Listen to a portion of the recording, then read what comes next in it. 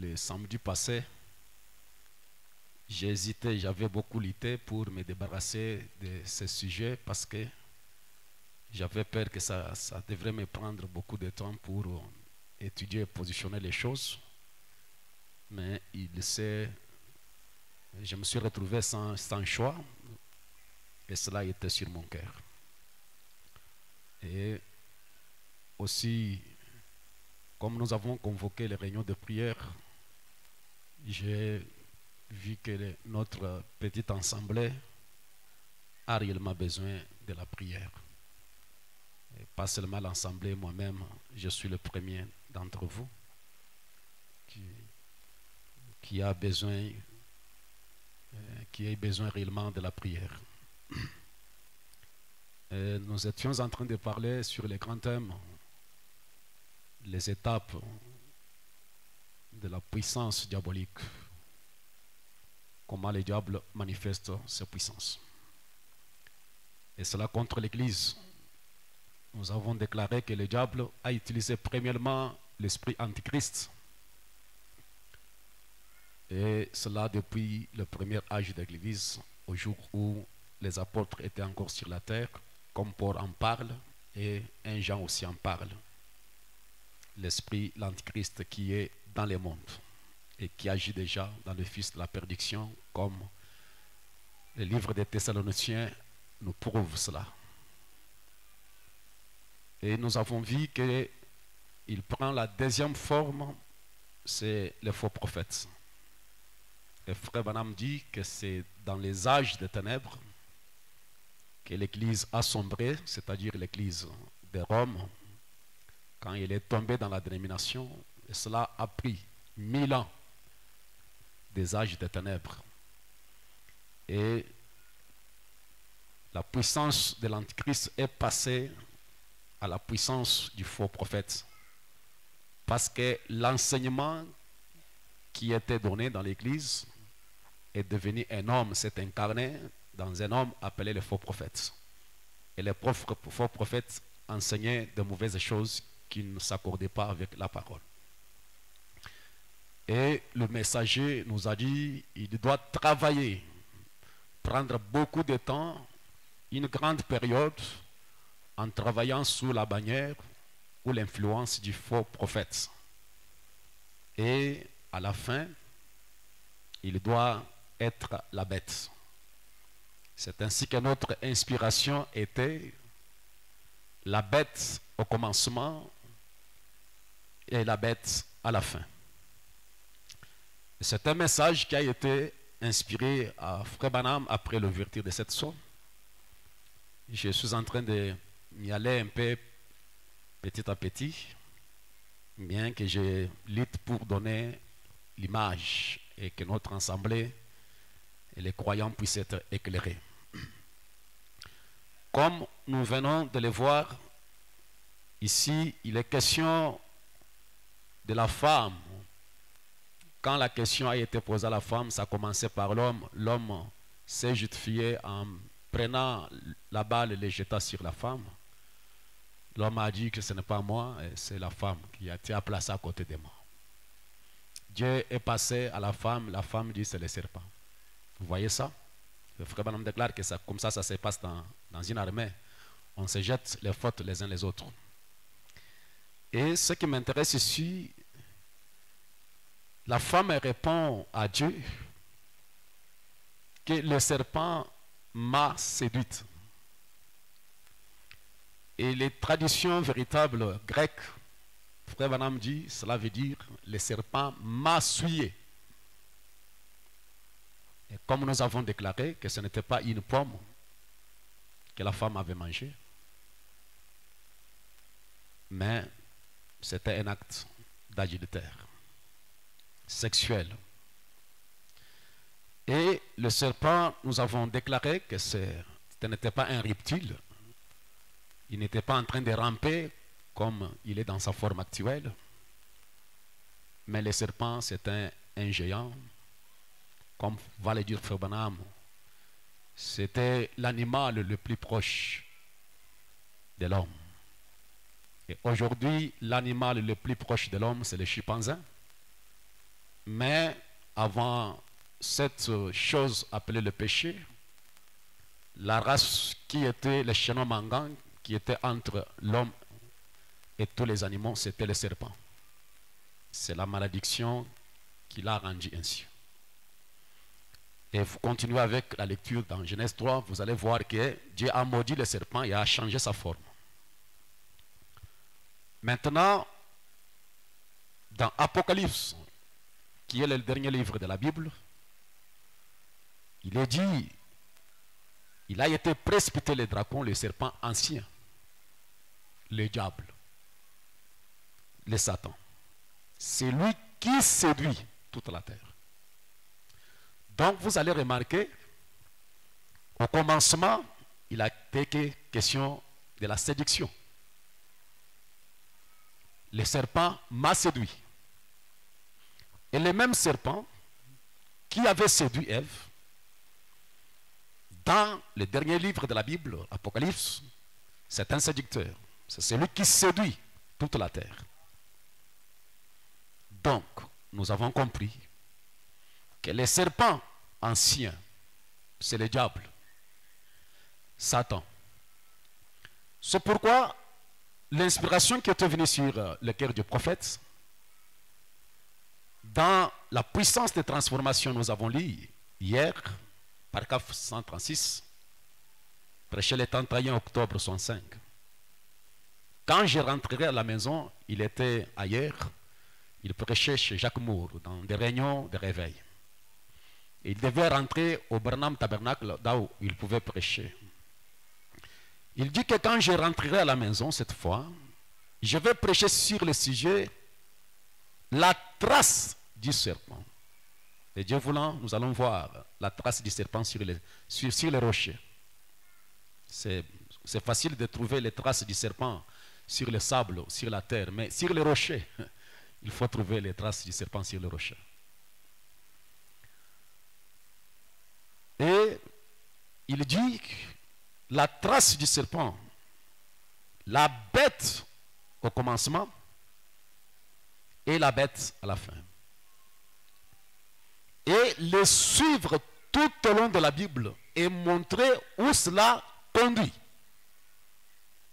Donc nous devons trouver les traces du serpent sur les rochers et suivre cela tout au long de la Bible, la bête au commencement, la bête à la fin.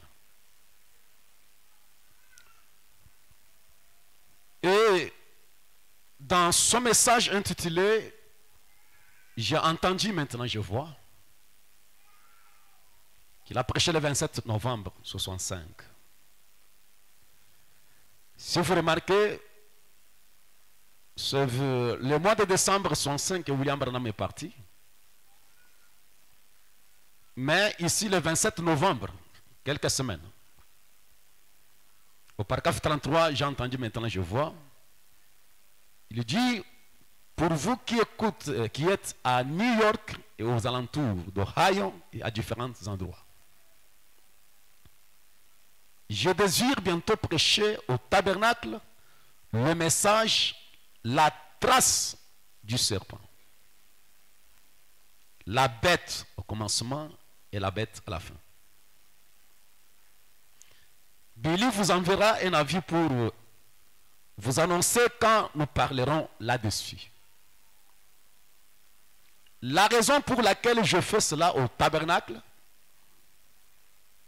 c'est parce que ce message durera au moins 4 heures ou plus.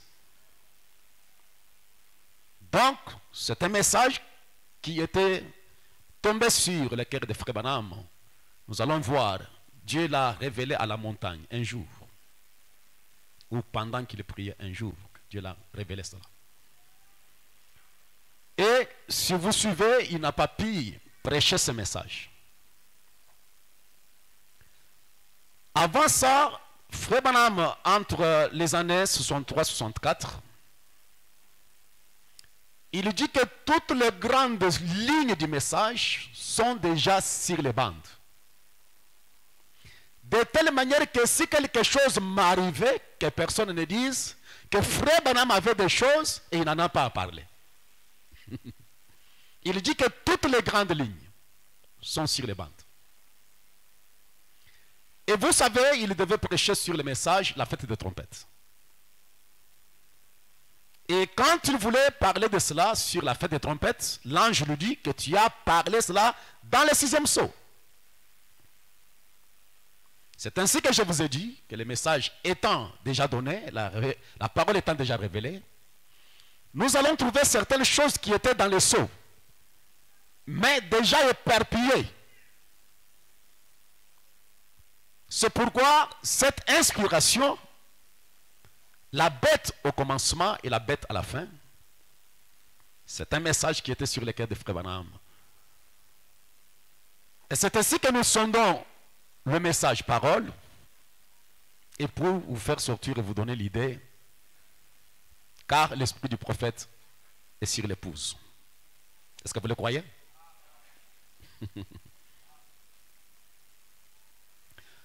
Maintenant, rentrons avec le serpent ancien. Nous avons trouvé que le diable, en tant qu'esprit, ne pouvait pas traiter directement avec Ève. Il a choisi une créature qui était plus proche de l'homme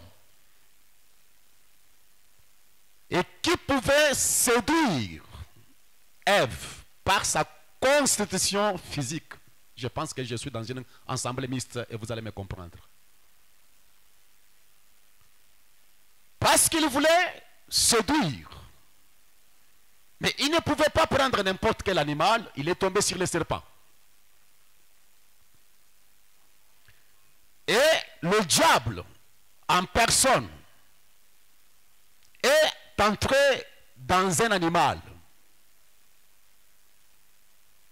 Parce que il voulait donner sa semence.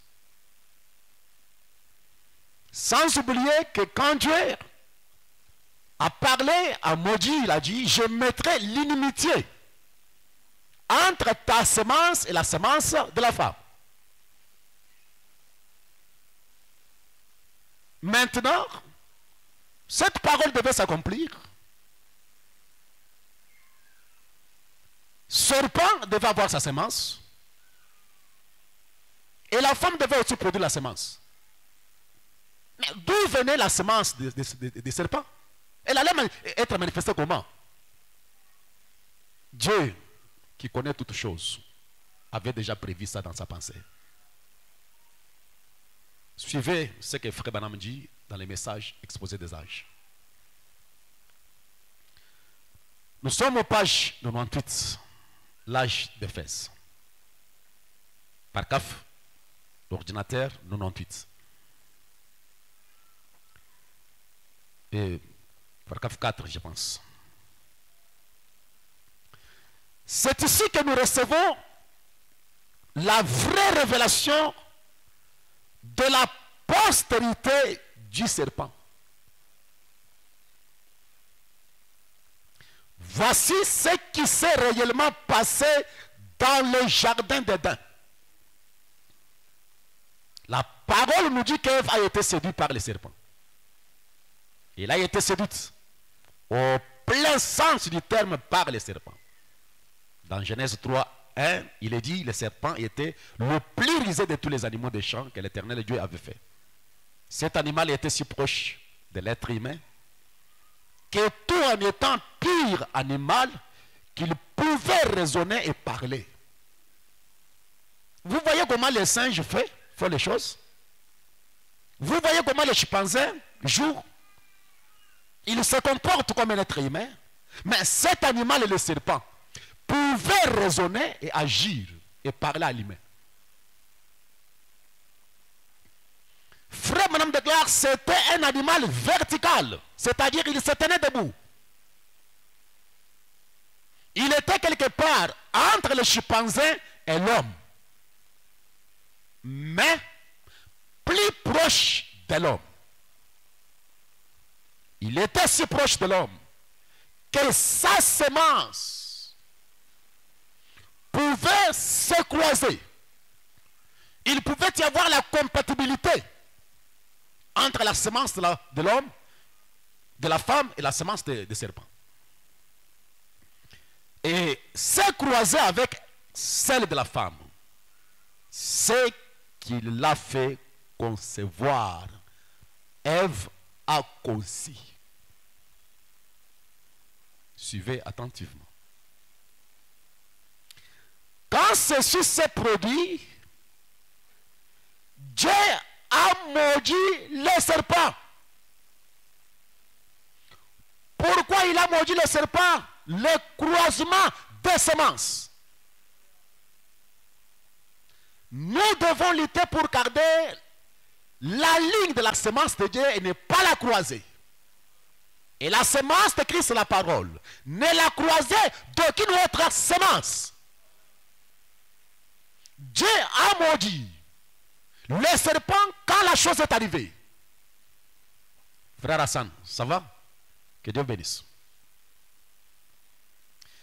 Il a changé chaque os du corps du serpent pour l'obliger à ramper comme le serpent que nous voyons aujourd'hui.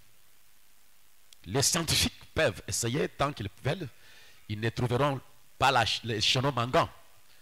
Dieu a vu cela. Dieu a vu que les hommes de science vont travailler pour trouver les chenons manquants. Et Dieu a transformé, changé complètement la constitution, les os, la chair, tout. Pour que le serpent devienne un rep- repti- reptile. Mais, il est vrai que l'homme et l'animal, comme l'homme est intelligent, il voit qu'il y, aura, y a un lien entre l'homme et l'animal. Les liens, l'affinement, les rapports entre l'homme et la femme, entre l'homme et l'animal. Parce que les hommes de science trouvent qu'il y a une affinité, il y a un rapport, il y a les liens. Et ils essayent de pouvoir croiser la semence de l'homme avec de l'animal, mais ça ne se fait pas. Mais quelque chose manque. Il essaye d'expliquer pour, par l'évolution. Il n'y a plus d'évolution. Mais il est vrai que l'homme et l'animal se sont croisés. C'est là un des mystères de Dieu qui était resté caché. Mais le voici révélé. Est-ce que les croyants peuvent dire Amen? hein?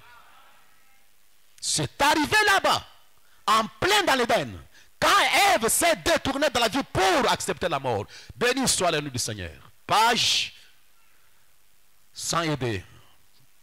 Exposé. Frère Branham dit, il y a une affinité entre l'animal et l'homme. Il y a les liens, il y a les rapports. Ils ne peuvent pas se croiser et reproduire. On a essayé de le faire. On peut croiser les animaux entre eux, ça, va produire.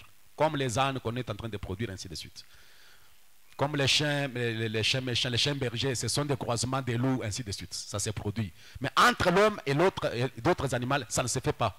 Parce que Dieu avait changé les choses. Mais dans le jardin d'Éden, le croisement a bien lieu. Et l'affinité chimique qui subsiste aujourd'hui en est près la preuve. C'est Éden, le serpent était un être vertical, proche de l'homme. Et frère Madame dit, il était presque un homme.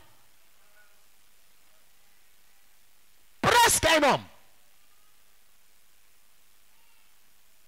Satan a profité ses caractéristiques physiques du serpent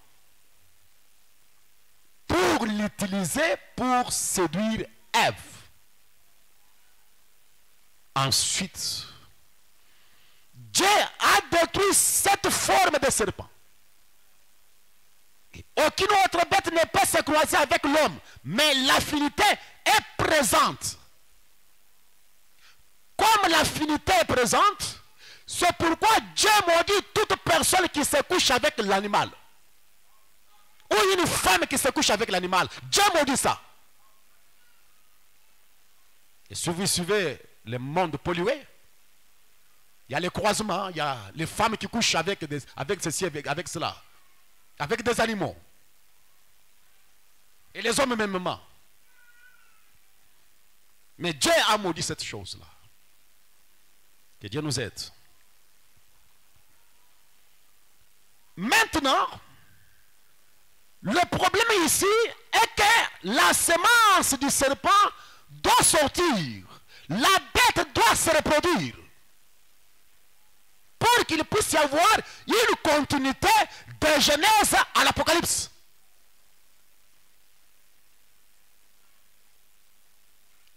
Rentrons page 101.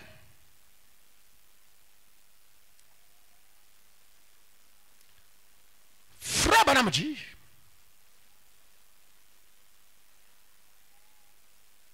regardez quelque chose. Par cet acte sexuel entre la femme et le serpent, et le serpent étant un animal dans lequel Satan est entré, ça doit produire un homme sans l'âme de Jéhovah. Avec une nature satanique. Dans sa constitution, ses caractéristiques spirituelles et physiques. Sans rien de Dieu là-dedans. Mais un homme qui peut parler, qui travaille, qui fait des choses, des réalisations, mais sans rien de Dieu en lui. Si vous permettez les termes, nous pouvons l'appeler un ensemble vide. L'ensemble vide.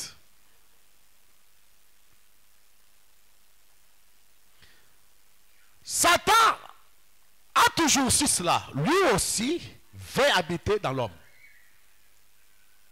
Comme Dieu le fait.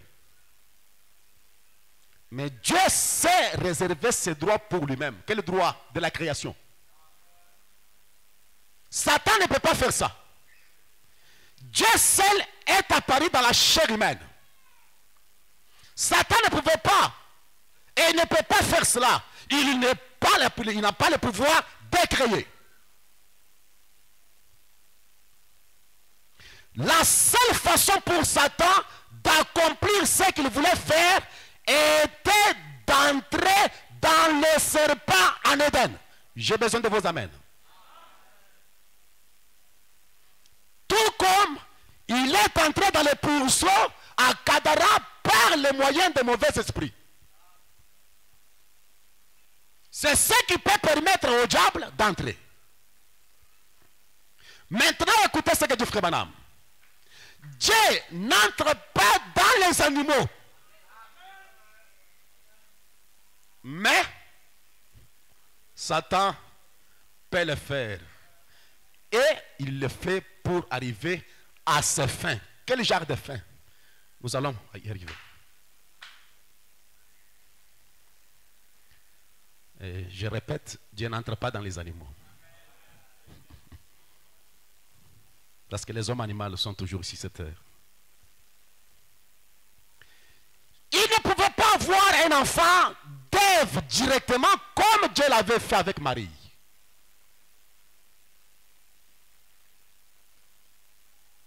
Vous allez trouver quelque chose. Quand Dieu avait besoin d'un fils unique, Dieu s'est créé lui-même dans le sein d'une verge pour produire un corps, un tabernacle, le Fils de Dieu. Parce qu'il est l'un créateur.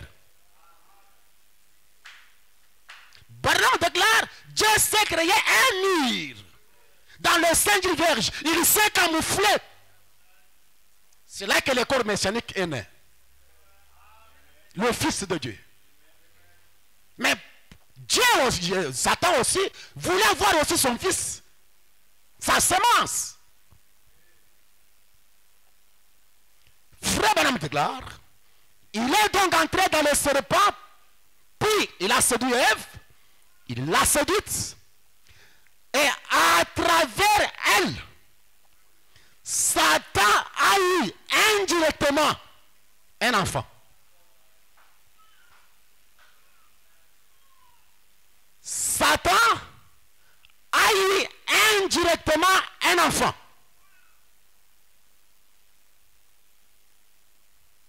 Caïn avait toutes les caractéristiques spirituelles de Satan et toutes les caractéristiques animales, sensuelles, charnelles du serpent. Que ceux qui sont grandes personnes comprennent de quoi je parle. Rien d'étonnant à ce que le Saint-Esprit ait dit que Caïn était du malin. Il l'était vraiment. C'est pourquoi, allez dans le livre de Chroniques, chapitre 1er. On commence à donner la descendance, la postérité d'Adam. La Bible déclare qu'Adam fut le père de Seth.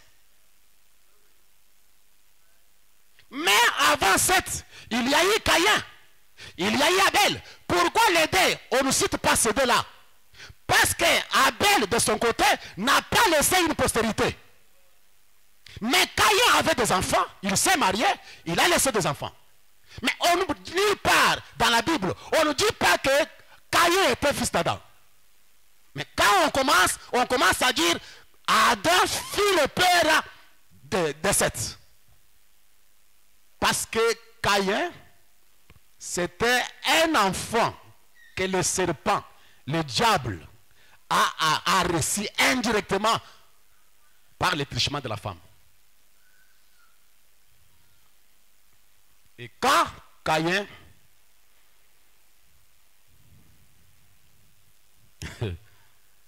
adorait Dieu, c'est compliqué. Il bâtit l'autel. Il adore Dieu. Il donne les meilleurs fruits.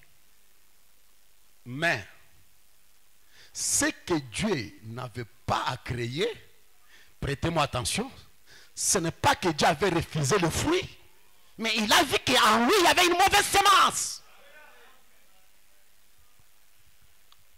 C'était la semence du serpent.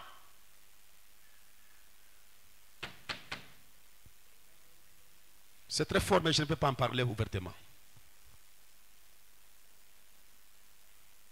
Donc, quand Marchait, c'était le fils de Satan dans son âme, fils de serpent, enfant de serpent, dans sa chair. Il n'avait pas le sang d'Adam. Et il n'avait pas l'âme de Jéhovah. Je ne sais pas si vous suivez ça. Il n'avait pas le sang d'Adam. Et il n'avait pas l'âme de Jéhovah.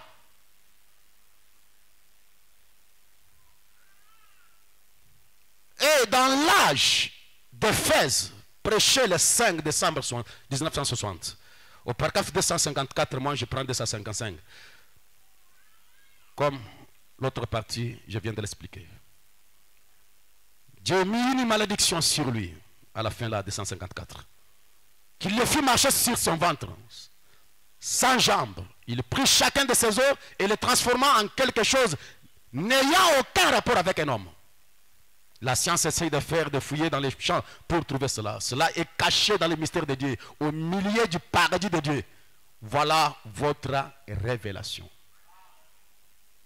Et si vous suivez, il répète, voilà la révélation. Parce qu'on doit trouver les traces du serpent sur les rochers. Et qu'est-ce que c'est les rochers? Les rochers représentent la révélation. Vous êtes avec moi?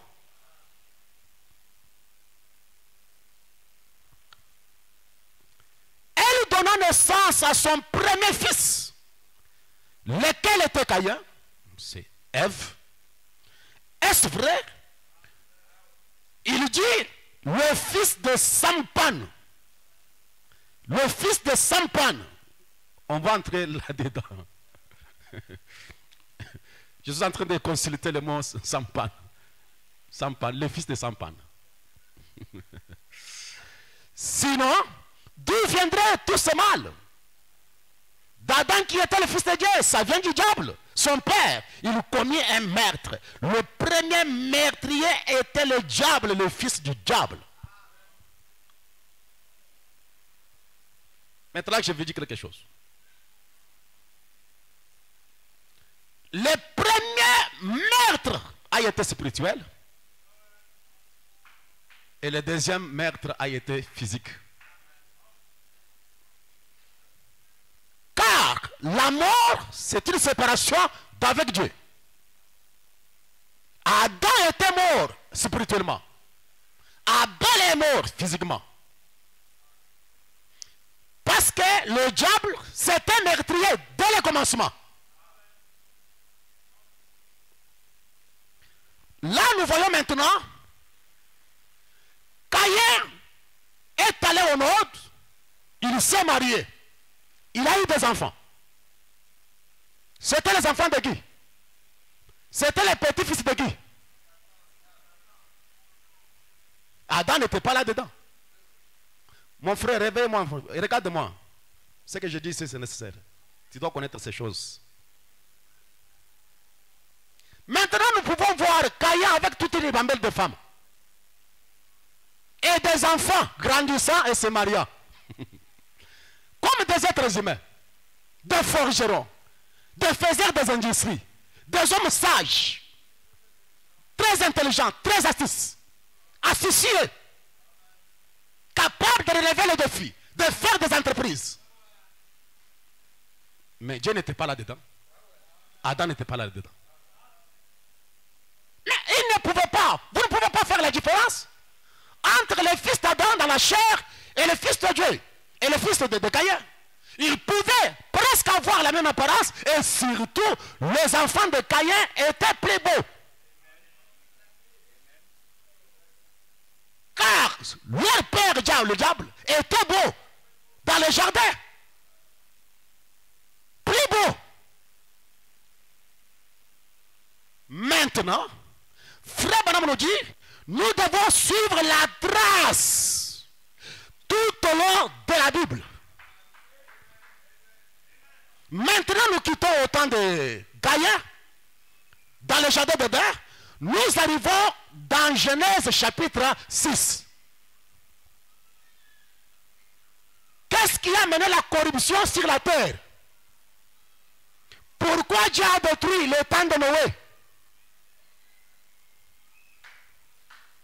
C'était cette semence-ci qui a corrompu le monde, qui a produit des géants. Genèse chapitre 6, versets 1 à 4. Pouvez lire le reste. Lorsque les hommes eurent commencé à se multiplier sur la face de la terre, que le filles, que des filles leur firent naître, le Fils de Dieu virent que les filles des hommes étaient belles. Ils en prirent pour femmes parmi toutes celles qu'ils choisirent. Étaient quoi? La beauté séduisante. Et le diable est le chef de la beauté.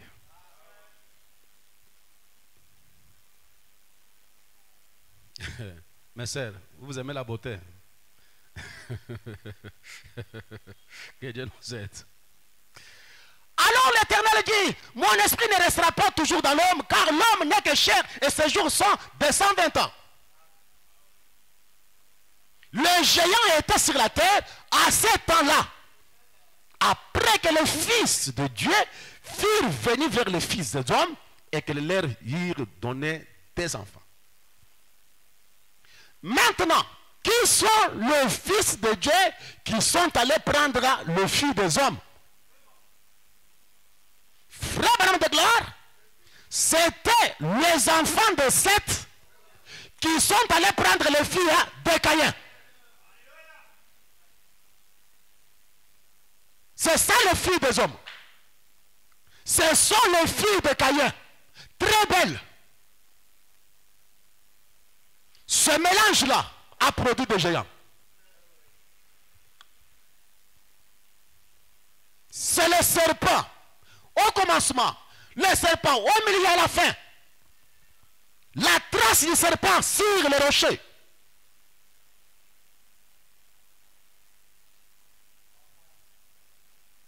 Question et réponse du 3 janvier 54 matin.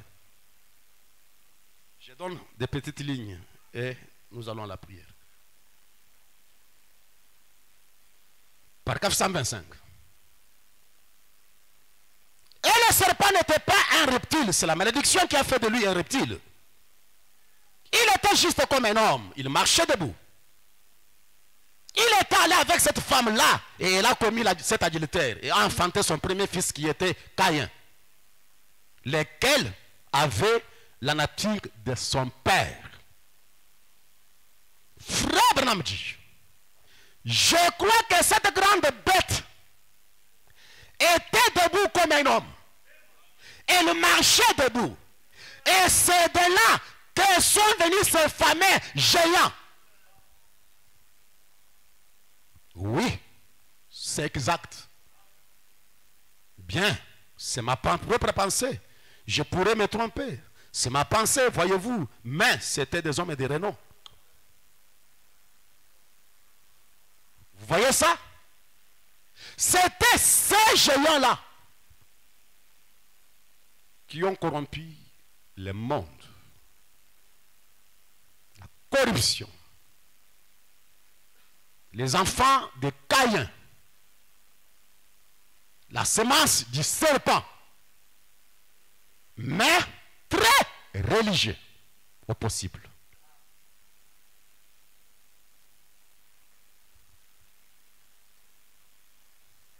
Maintenant, nous allons voir les caractéristiques spirituelles de cette semence et nous allons changer notre gamme pour aller dans la prière. Jean chapitre 8, verset 42.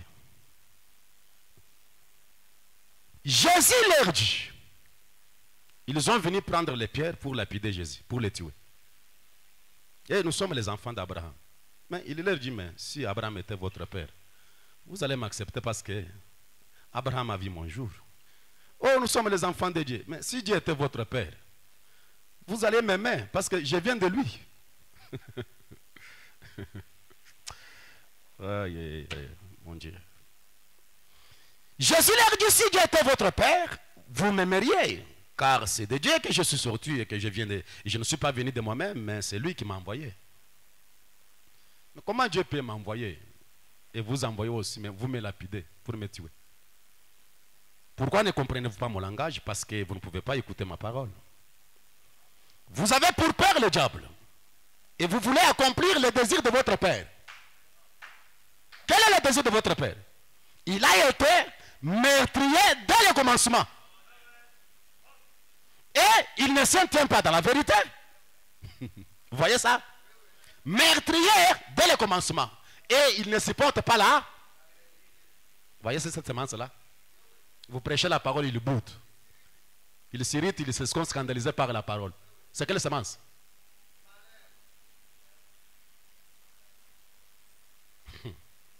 Est-ce que la parole de Dieu peut scandaliser un enfant de Dieu? Il ne s'étale pas dans la vérité. Parce qu'il n'y a pas de vérité en lui. Lorsqu'il préfère les mensonges, il parle de son propre fond. Car il est menteur et le père du mensonge. Vous êtes avec moi? 1 Jean chapitre 3 verset 11 et 12. Les caractéristiques de cette semence-là. Car ce qui vous a été annoncé et ce que vous avez entendu dès le commencement, c'est que nous devons nous aimer les uns les autres. Et ne pas ressembler à Caïn qui était du malin et qui tua son frère? Et pourquoi le tua-t-il Parce que ses œuvres étaient mauvaises et que celles de son frère étaient justes. Êtes-vous avec moi? Ici, la Bible nous interpelle, nous appelle tous à ne pas ressembler à qui? Qu'est-ce que Caïn a fait? Il a tué son.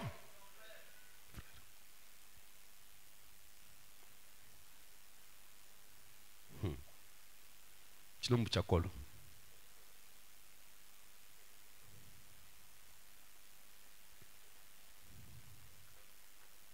1 Jean chapitre 3, verset 13 à 3, 15. Nous continuons verset, verset 15.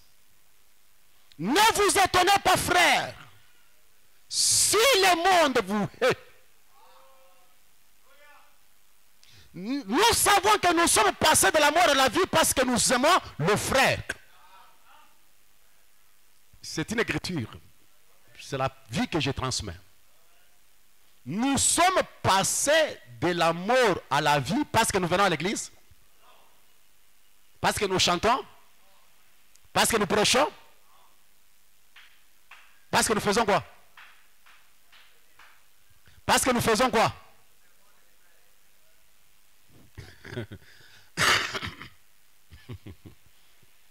Bon, si je pouvais dire, nous sommes passés de la mort à la vie parce que nous construisons, nous construisons l'église, ça pouvait marcher. Nous sommes passés de la mort à la vie parce que je suis pasteur. Ça pouvait aller. Je suis diacre, je suis tel dans l'église. Ça peut marcher.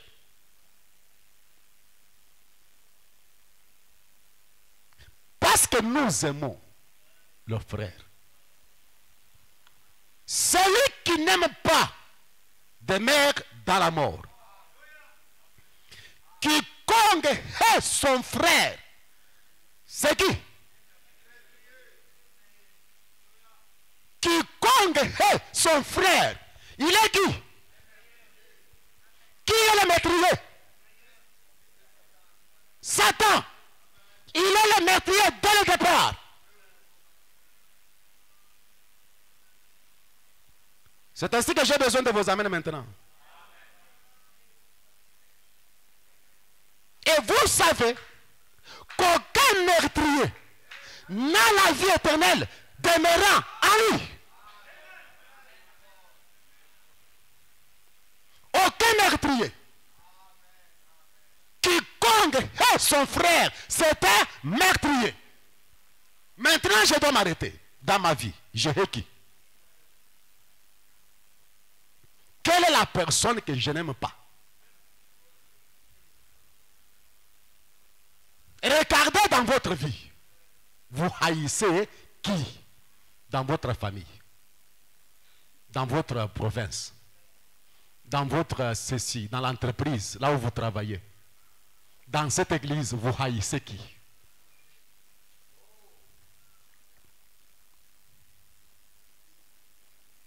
Nos consciences nous reprochent. Parce que nous voulons voir la semence du serpent sur, les traces du serpent.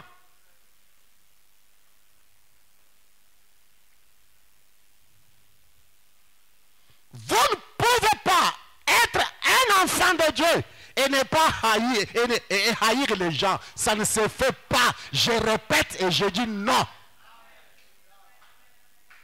Même si c'est la personne la plus corrompue.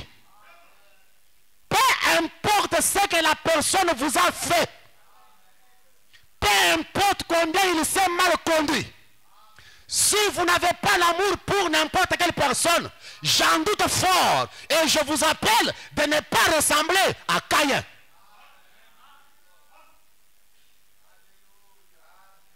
Toi, tu connais cette sœur-là. Tu connais ce frère-là. Ou quand il s'approche, quand elle s'approche, tu as des ressentiments. Tu les hais.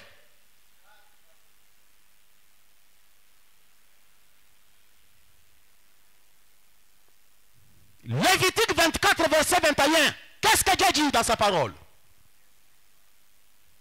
Celui qui tuera un animal le remplacera. Mais celui qui tuera un homme sera puni de mort. Dieu permet que nous puissions tuer des animaux. Abraham en a tué. Branham en a tué. Mais Dieu nous interdit de nous tuer les uns les autres.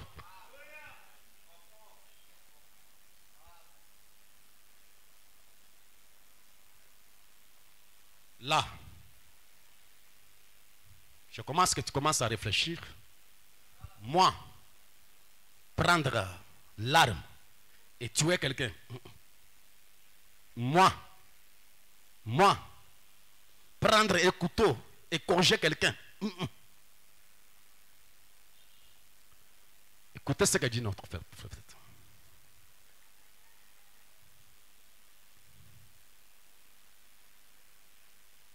Je suis dans le message, le témoignage d'un vrai témoin, prêché en 61, le 5 novembre 61.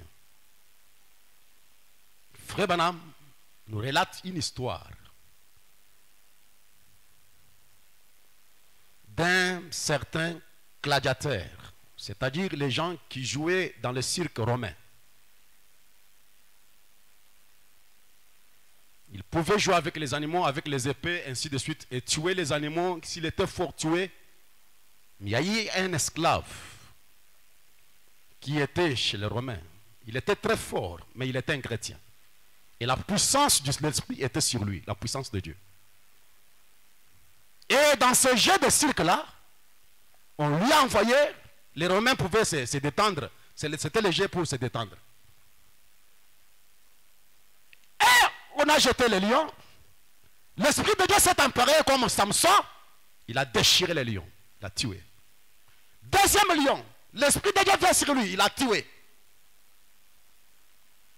Et troisièmement, on prend un homme, un noir, qui était costaud, un Africain. Et le gladiateur était si fort. Et quand ce n'est que s'est avancé, il a saisi. À un certain moment, lui a donné un coup, un coup et il a bloqué. Il avait son épée. Mais il regarde. Il commence à frémir dans son cœur.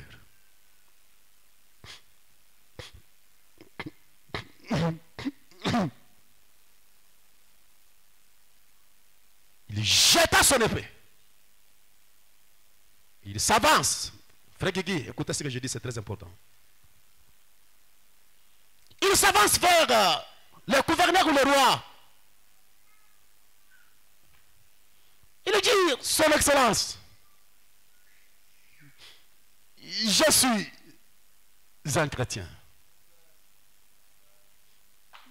Mon Seigneur et mon Sauveur m'interdit de pouvoir ôter la vie à un homme. Je peux tuer un animal, je peux tuer un oiseau, mais pas un homme.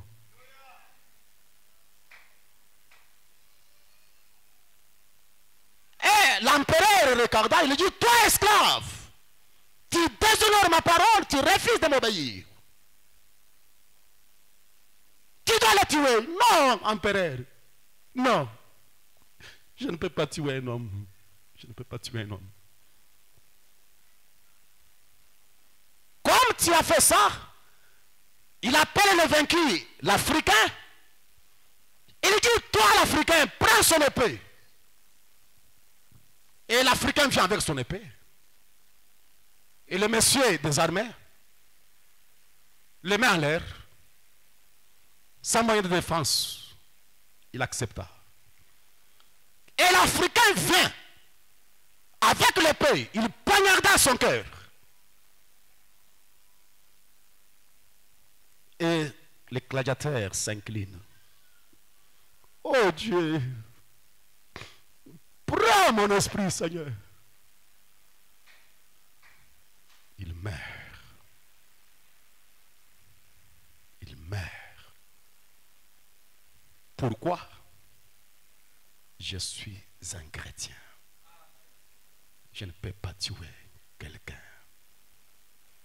Maintenant, frère Banamji, l'un des signes, de, l'un des tout premiers signes du christianisme, 197. L'un des tout premiers signes du christianisme était le refus de tuer un homme.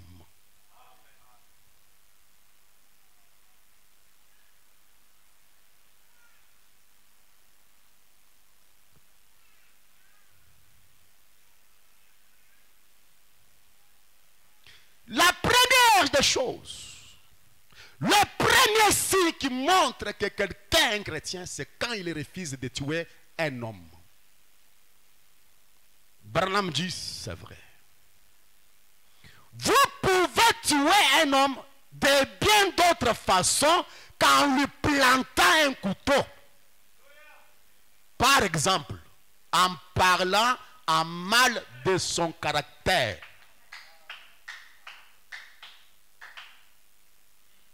Il a fait, il a ceci, il a ceci. Vous savez qu'est-ce qu'il a fait Il a fait ça, il a fait ça. Et combien de meurtrières nous avons?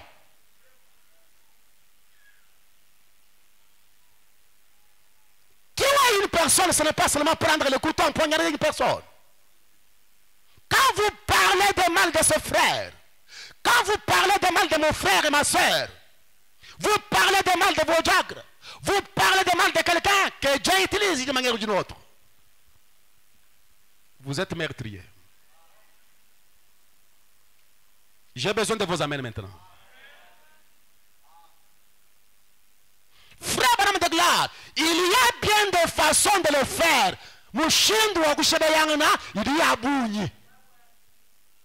Mes sœurs, vous êtes avec moi? Namna ya kwa wana iko ya mingi sana.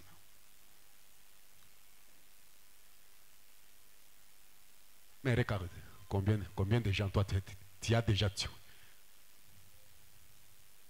Votre mari déjà par terre tu l'as déjà tué. Ta femme est déjà tuée.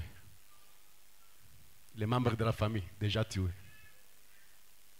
Même tes enfants tu as déjà tué. Tout toi tu tues il est ceci, il est cela, il est ceci, il est cela. Non, il est ceci. Tu parles des mal de son caractère, même si cela est mauvais, n'en parle pas.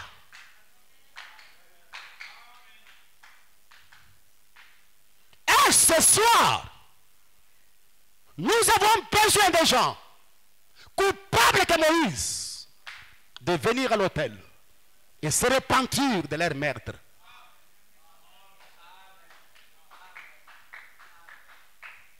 Je crois, aussi longtemps que le souffle de Dieu est en vous, la grâce de Dieu demeure. Si vous êtes coupable de meurtre, la place est à l'hôtel.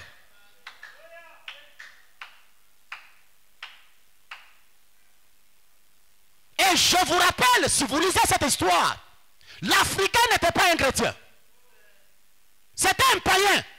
Frère déclare un païen africain. Mais ce gladiateur n'a pas tué cet Africain parce qu'il était un païen.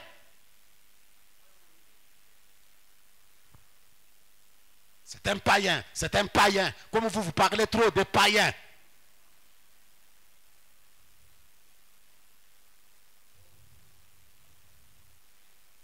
Que Dieu nous aide. Le jeune chrétien tombe à genoux et dit, Seigneur Jésus, reçois mon esprit. Et nous, nous, hein, nous parlons de souffrir pour Christ. Quel sera notre témoignage à côté de, tes, de tels gens Oh, ma crise, ma tesu. Mais vous, vous pouvez passer par là. Vous pouvez passer par là. C'est pourquoi l'Esprit de Dieu nous a quittés. Nous tombons dans le formalisme. Nous sommes des meurtriers. Nous avons tué beaucoup de gens à plusieurs reprises. Nous avons besoin de venir à l'hôtel et bâtir les prières à l'ancienne mode. Frère Banam relate une histoire comment Moïse a été protégé sur le fleuve Nil? Alors que la loi disait de tuer tous les enfants. Parce que le meurtrier est toujours là. Pharaon était meurtrier. C'était le fils de Satan.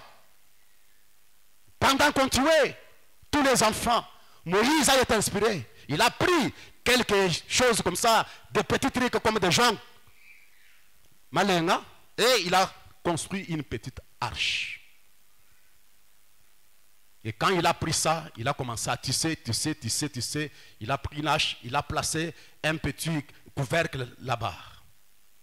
Et il dit à son, sa femme, Jochebed, nous allons prendre cet enfant et le placer dans cette arche et le placer sur le fleuve Nil. Mais Jochebed dit, mais, mais ça, ne, ça ne marchera pas. Les crocodiles vont s'emparer de l'enfant, ils vont manger cet enfant. Il dit, non, non, je connais un secret. Dieu vient de m'inspirer je dois prendre les bitumes et appliquer sur la petite arche, et couvrir dedans et dehors. Et la bitume ne donne pas une bonne odeur. Ça sent mauvais. Et quand les crocodiles viendront, ils vont s'approcher avec leur nez et ils vont sentir la mauvaise odeur, ils vont rentrer. Le frère Branham déclare que vous, les petits enfants, savez-vous comment on répare le riz, quand ils sont endommagés, on vient avec le bitume qui est du, poids et on plante ou bien on arrange un peu les, riz, les avenirs ou les routes. On place les bitumes comme vous les voyez ici à Lubumbashi. Mais passer là où on a placé les bitumes, ce n'est pas, il n'y a pas une bonne odeur. Ça sent mauvais. Les bitumes, ça sent mauvais. Mais c'est ce qui garde les routes. Et frère Branham déclare, les victimes représentent la prière. Ce que la victime fait là, c'est ce que la prière fait. Maintenant, écoutez, pendant que je vous demanderai de vous tenir debout. Moment de prière qui m'appelle des mondes de soucis et m'invite au trône de Dieu pour faire connaître nos besoins.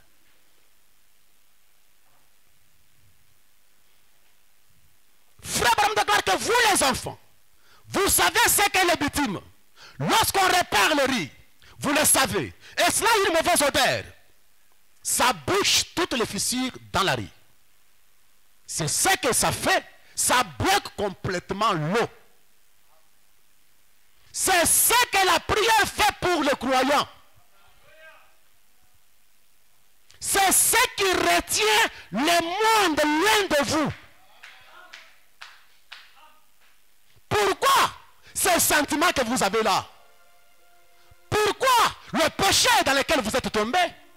Pourquoi l'amour du monde et toutes les histoires dont on ne saura jamais énumérer ici, dont vous êtes conscient? C'est parce que tu n'as pas appliqué les victimes, la prière. La prière vous retient loin des choses du monde. C'est lorsque vous vous enduisez des poids à genoux et que vous dites, Seigneur Jésus. Alors, le sang descend et vous scelle complètement de telle manière que le diable ne peut pas vous atteindre. Que ces démons de l'enfer, cette puissance démoniaque, cette haine-là, mes amis, quand quelqu'un est constamment dans la prière, le péché s'éloigne de lui. C'est pourquoi j'ai dit que notre église et moi-même, nous avons besoin de la prière. Frère Madame de vous voyez? Ainsi donc, souvent, les gens vont ça et là, ils disent c'est horrible. Mais cela ne change pas. Cela vous garde en sécurité, la prière. Voyez-vous, c'est ça. L'essentiel, c'est être sécurisé. Moïse était sécurisé sur le fleuve Nil à cause de la bitume. Et la bitume, c'est la prière ce soir. Quand un homme est loin de la prière, l'onction de la prière, les démons peuvent s'approcher et rentrer. Quand une église prie, les démons doivent être chassés. Nous sommes en sécurité à cause de la prière. Et Bram déclare que je peux voir quand on a placé la petite arche sur le fleuve Nil. Les, les, la grande sœur Myriam qui était la grande sœur de Moïse, était là en train d'observer comment cette petite arche tanguait sur le fleuve Nil. À un certain moment, frère Branham de gloire, je peux voir la petite arche entrer dans les tourbillons. Entrer dans les tourbillons. Et la petite Myriam en train de... Mais à un certain moment, le calme arriva. Et le frère Branham de gloire, béni soit le nom du Seigneur. Elle regardait là. Et voici la petite arche flottait ça et là. Oh non, non, non, non, non. Il ne peut pas s'approcher de cette cargaison-là d'ici. Frère Madame de Gloire, il dit, ah, ah, aucun de moi ne pouvait s'approcher là. Parce que 10 000 anges entouraient cette petite arche. Ça flottait sur le fleuve, cette petite arche faite de, de, de bêtimes. Tout à coup, vous savez, cela entre dans un tourbillon. Oh là là là là. Oh, Afé Myriam. Oh, oh, regardez là. C'est tourbillon. Regardez cela, regardez cela. La chose suivante, vous savez, tout d'un coup, cela glisse doucement. Je donne un message à quelqu'un ce matin, ce soir. Frère de gloire, c'est ainsi que ça se passe. Nous entrons parfois dans un tourbillon avec cette petite barque. Frère de gloire, ne vous en faites pas. On ne peut pas empêcher les barques de pouvoir être ballotées. Les tourbillons peuvent venir dans ma maison, dans cette église. Je vous le répète, ne vous en faites pas. Il y a quelqu'un qui veille. Les anges de Dieu campent autour de ceux qui les craignent. Alléluia. Il y en avait 10 000 donc, les anges qui étaient là et qui étaient au garde observant cette petite arche. Moment de prière qui m'appelle d'un monde de soucis. Et m'appelle au trône de Dieu pour faire connaître mon souci. En temps de peine et de danger, mon âme est souvent consolée. Alléluia. Moment de prière qui m'appelle des mondes de soucis. Pour que je puisse m'apprécier avec cela dans les cœurs brillent. C'est un moment de prière qui apporte ma requête vers le trône de Dieu. Beaucoup de choses nous arrivent parce que nous n'avons pas la prière. Beaucoup de péchés nous commettons parce que nous manquons la prière. Beaucoup de légèreté nous avons parce que nous avons manqué la prière. Beaucoup de choses sont passées au milieu de nous parce que nous avons manqué la prière. Ce soir, la prière, c'est la bitume qui peut nous garder. Ça peut nous sécuriser. N'oubliez pas la prière en famille. N'oubliez pas la prière dans votre maison. N'oubliez pas la prière quand vous êtes au travail. N'oubliez pas la prière dans vos voyages. N'oubliez pas la prière partout. Quand vous voulez prendre des décisions, n'oubliez pas la prière. Alléluia.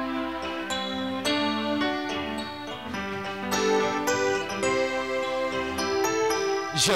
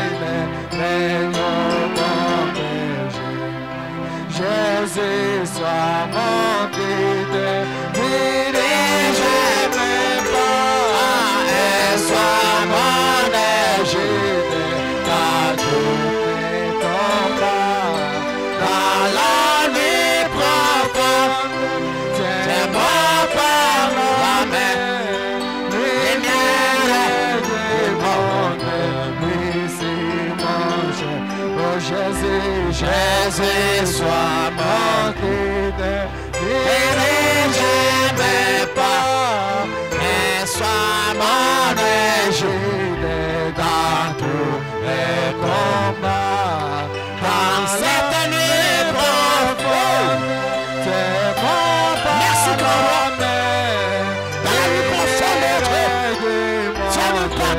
Levanta, Senhor Jesus.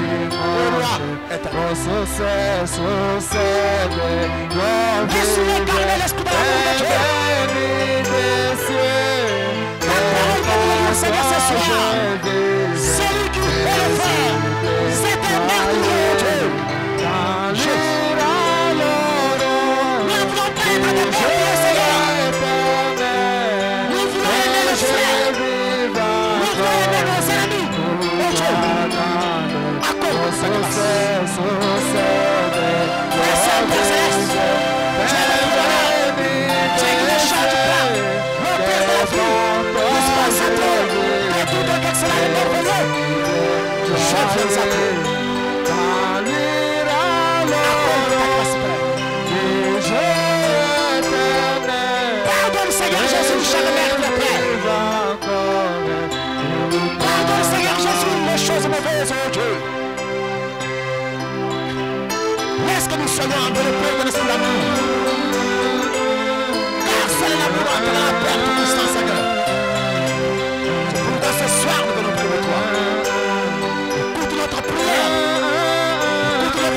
Senhor.